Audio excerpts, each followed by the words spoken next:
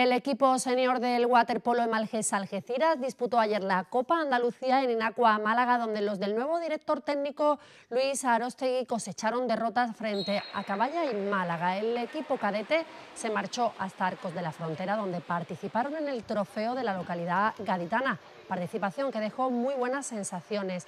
Los algecireños fueron terceros ganando ante Waterpolo Jerez en dos ocasiones y perdiendo ante Chiclana y La Molinera.